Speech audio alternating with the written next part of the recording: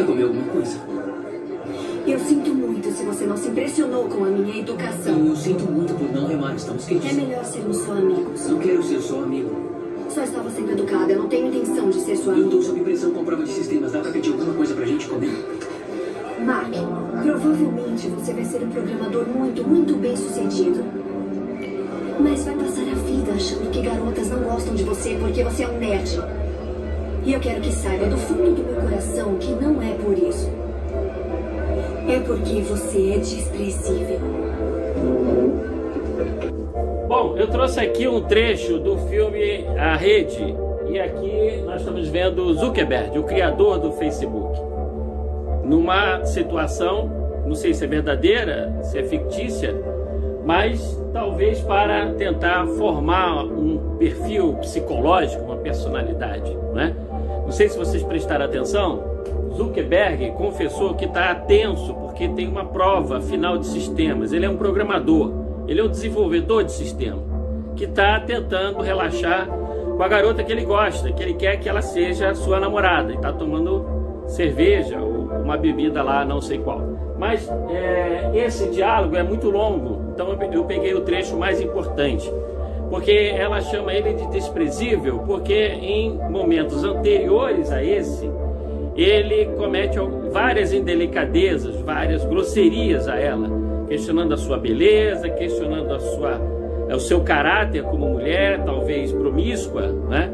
E tudo porque ele teve uma crise de ciúme, porque ele não fazia parte de clubes, né? Que na cultura americana você vê clubes dentro das universidades formando uma elite.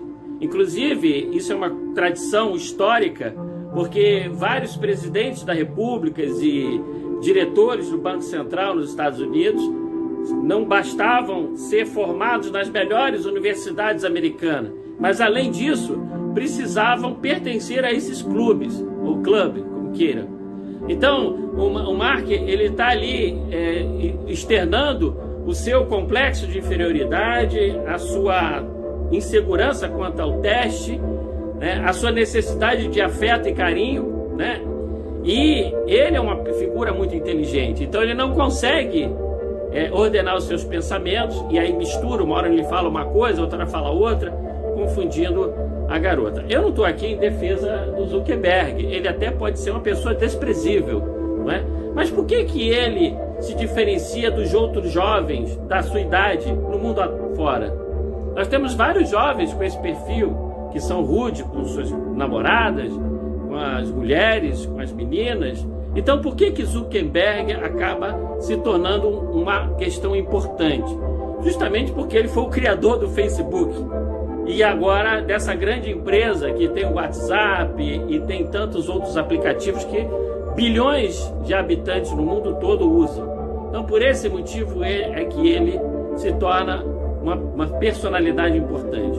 Então, é, eu estou chamando a atenção para esse filme porque, é, só para voltar à questão anterior sobre o medo da inteligência artificial e por que, que os debates você não vê profissionais de tecnologia, por que, que você vê advogados.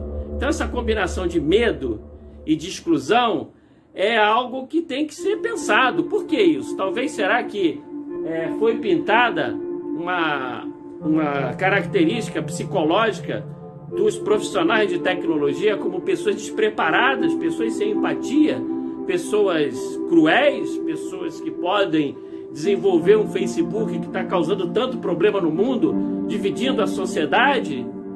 Será que é isso?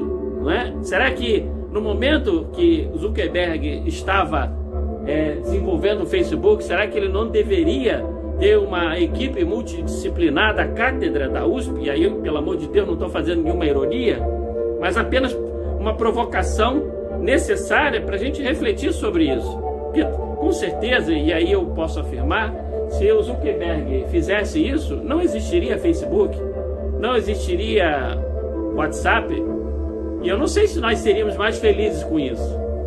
De qualquer maneira, está aí o Facebook, o WhatsApp, e a gente tem que lidar com isso. Mas onde eu quero chegar é que o debate ele precisa ser colocado no centro os profissionais de tecnologia, porque quer queiramos ou não, quer sejam pessoas desprezíveis ou não, são eles é que vão produzir a tecnologia, são eles é que vão pro produzir a inteligência artificial. Então, se excluí-los desse debate porque nós temos medo de talvez eles serem nerds ou desprezíveis ou cruéis, sei lá o que, não ajuda. Pelo contrário, agrava o problema. E eu vou explicar por quê.